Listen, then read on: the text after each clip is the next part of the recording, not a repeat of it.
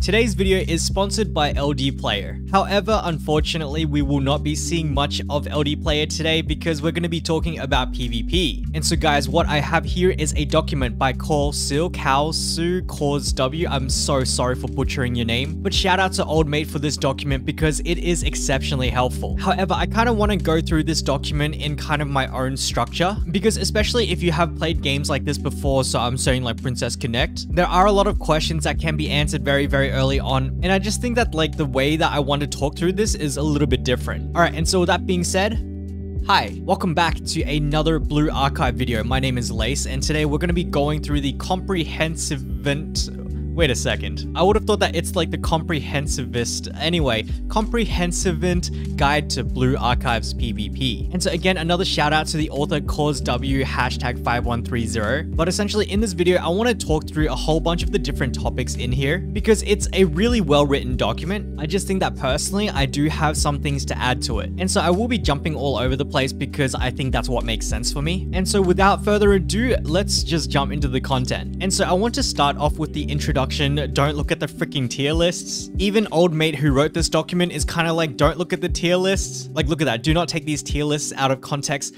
We look at them later, okay? Let's just start with an introduction to PvP. So PvP is very, very simple. For the majority of you guys who do watch my Princess Connect videos, PvP is going to be like second nature to you. It is almost identical to Princess Connect's PvP. And so for you guys who don't play Princess Connect, let's get started. So essentially every player has two teams. For example, I am a player and I have a defending team as well as an attacking team. So essentially I hold a rank, right? So for example, I am rank 184. At rank 184, I set a defense team and so anyone who wants to attack me, they have to beat my defense. And then on the flip side of things, if I want to get a higher rank, so for example, if I was 185 and I wanted to climb to 175, then I would have to take my attack team and attack their defense team. And so if the attacker wins against the defending team, then the attacker and defender swaps ranks. So every day we get five free attempts to go ahead and attack somebody, and you can most certainly get more attempts if you so wish. And so I think a key thing to point out over here is as a defender, so say I'm trying to hold my rank 185, there is absolutely no limit to the amount of times I can be attacked. For example, 195 might look at me and be like, well, I'm to attack you. They're to kill me and then I'm to go to 195. And then somebody at 218 are to find me at 195. And then they're to be like, well, I'm to attack this guy because this guy's easy. And then so forth, right? And so that's pretty standard. I think a lot of other games do have this as well, like CounterSide as well as PriConne. But here is where it kind of differs a little bit from PriConne. So there are no replays of battles to help you adjust your defending strategy. And so what that means is that unfortunately, we can't watch watch what exactly went down. And because we can't watch what went down, you kind of just need to infer what would have happened with like the interactions between an attacking and defending team. And so for the match itself, it is completely autoplay AI. And so in this regard, it is very similar to PriConne. It is essentially team building versus team building. However, the win conditions are actually a little bit different for this one. He says here that a battle is over after one team's strikers have all been eliminated or the timer runs out. And so when the timer runs out, the team with the most remaining HP wins. And so this one is going to be a little bit harder to adjust for the PriConne players because traditionally for this kind of like gameplay, you really like to run stall teams, right? And that is not to say that stall teams won't work here. The only issue is that stall teams do no damage, right? And so if they're doing no damage to a team that's like quite well balanced and say that team has like two snipers just like constantly chunking away at the tanks, then the stall team is going to take more damage overall and just lose. However, let's see what kind of meta is going to be formed on global global, I think it's going to be pretty spicy. And so with that, hopefully you guys have a pretty good grasp of PvP itself. All right, so the next thing I want to talk about is actually the PvP bracket, uh, this one over here. And so PvP brackets in Blue Archive are almost identical to the ones in PriConne. Essentially, a bracket system just means when your account was created, you will be placed into like a pool of, let's say, 1500 players. And then for the next two months or so, you will only be fighting these 1500 players. And so this is a little bit different from PriConne. And guys, I'm really sorry for making all of these like PriConne uh, analogies. It's just because a lot of my base audience is from PriConne, so please bear with me. Anyway, so back to it. For Princess Connect, we got assigned a bracket when we unlocked PvP. In Blue Archive, however, we are assigned a bracket based on the account creation date. And so what that means is that And I know that a lot of you are going to try this, but it means that we cannot store our PvP unlock to hope for a better bracket. And by better bracket, I mean like a later bracket. And so to really sum up what I'm saying, because it can be getting a little bit confusing, being able to stall a bracket is the difference between playing against like launch players or fighting people that are starting later. Generally speaking from experience, the launch players are like the really hardcore ones, the day one players. And so you will probably be having a harder time, especially maintaining your ranks. And so that is the rationale, although unfortunately we cannot pull that off in Blue Archive here. However, what this means is that if you are okay with missing a few days, you could technically store your account creation. Some people might find this worth it, some people won't. I'm personally in the bucket of it's not really worth it, guys. And so yeah, almost done with the brackets, except for the fact that they also do reset between seasons. So essentially, for example, like bracket 1 and bracket 2, both of these brackets initially had 1500 players. However, about half of them in both of the brackets kind of went inactive. And so when the season resets, essentially,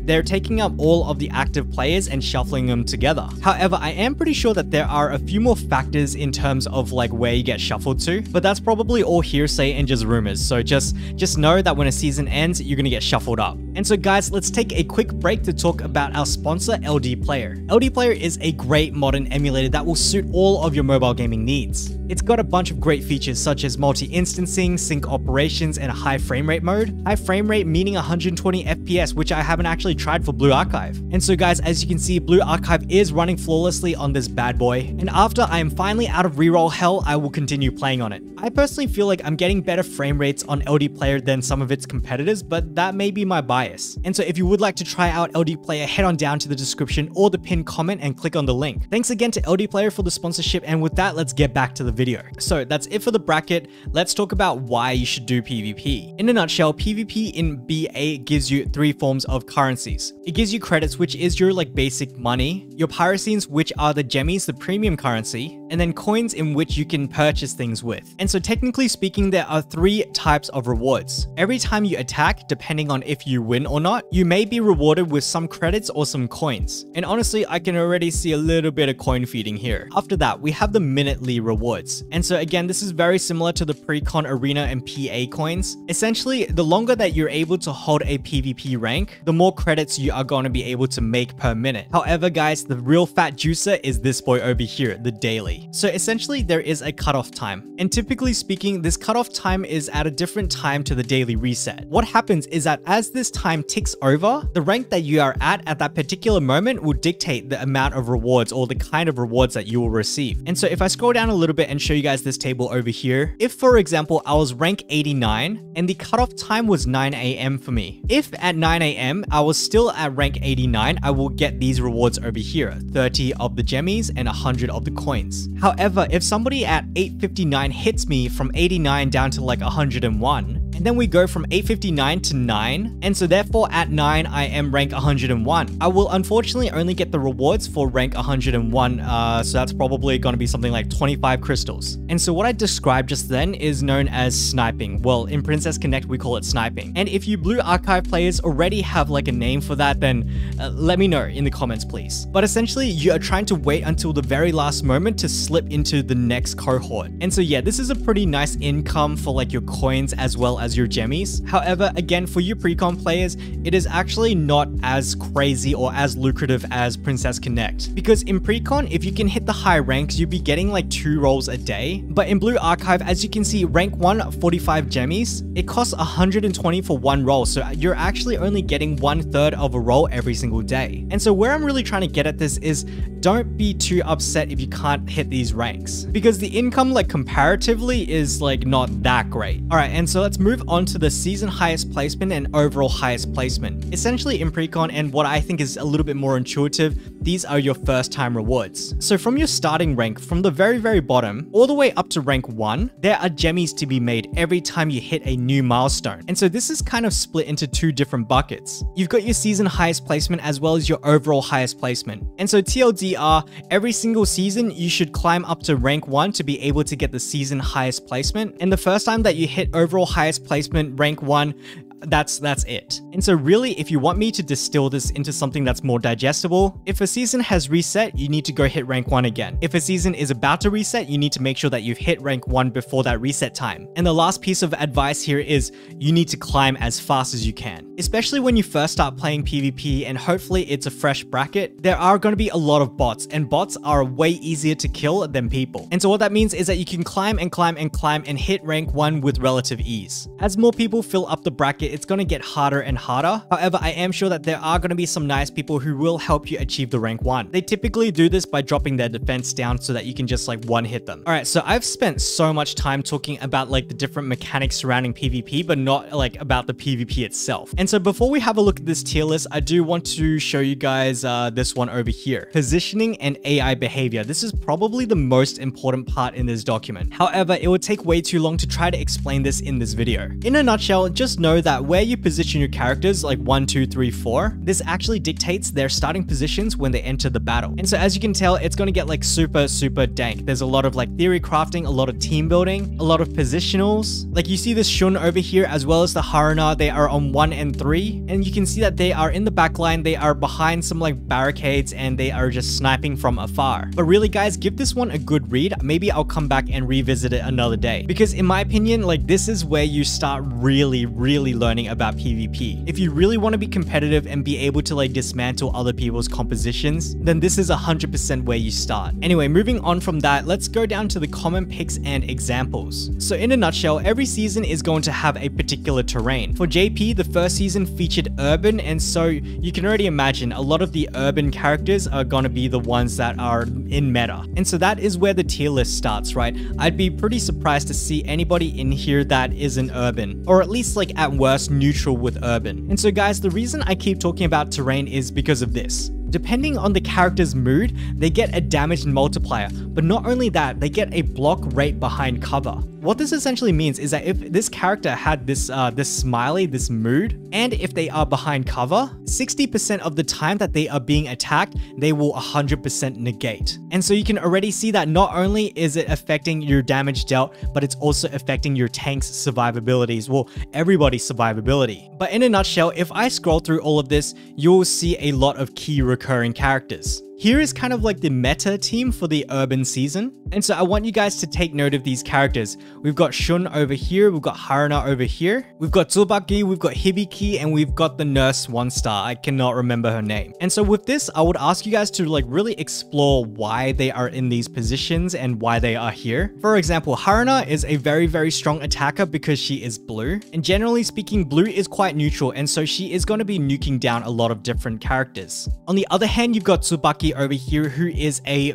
pretty much the premier tank. And the reason that she is the premier tank is because A, she is blue, which means that she is going to be neutral to a lot of like red and yellow attacks. But also B, her skill set is also just really freaking strong. And so what I just noticed is that I'm actually talking about the outdoors. You see Shun is here and then Shun is also up here in urban. And then we've also got Tsubaki over here. And if I scroll down, we've got Tsubaki again. And then on top of that, what you'll also notice is that we have Hoshino over here and then Hoshino over here for outdoors and she was also featured in Urban. What I'm trying to say here is that there is a pattern. There, there is certainly a pattern. There are very distinct characteristics as to why like certain characters are here and in the positions that they are in. However, what this means is that you can start predicting like the hidden comps, right? Because as you climb higher and higher in PvP, for example, at rank 89, you may only be able to see the enemy's defenses team's position 1. And so if this is a meta team and like generally speaking everybody is a meta slave, then you can kind of guess that like for example, Tsubaki is going to be in position 2. And so how exactly do you deal with Tsubaki? She is blue armor, so therefore she gets hit hard by the blue attack. And generally speaking, the best blue attacker is Haruna, so Haruna is going to be smashing into your Tsubaki. Like you guys can see, I just went on like some random, random tangent, right? But that really just goes to show like how in depth and like how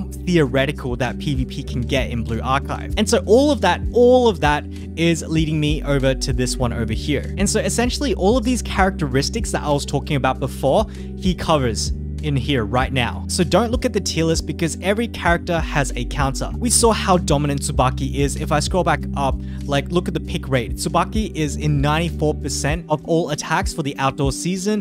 And then let's go back up here. She is also the most picked. And so what that means is that naturally her counter, Haruna, is also going to be one of the most picked characters. So guys, I implore you, if nothing else in this document, read through each of these descriptions and understand why exactly they are good. Because if you don't understand it and you just throw a whole bunch of stuff together, those teams are going to get dismantled really, really easily. And then when you go ahead and hit a team and it turns out to be a non-meta team, you just won't know how to dismantle it because you've just been copying a whole bunch of like meta team comps. And so with all of that being said, I think we can finally look at the tier lists. And so hopefully these two tier lists are not going to be of any surprise to you now. We know that Hoshino and Tsubaki are both fantastic tanks. We know that Shun is going to be exceptionally dominant because if you did read this one down here, her ability to instantly generate SP at the beginning of the battle is extremely strong. For you PriConne players, that's TP charging on a team level. And then we've got Haruna over here as an answer to the Tsubaki, and then Hibiki over here because she is a very, very strong offense defense and thrives in urban, but then you can see that both Hibiki and Haruna are demoted down a tier to, to A and to B. And this is purely because of the terrain switching up. And so guys, I have been all over the place with this guide.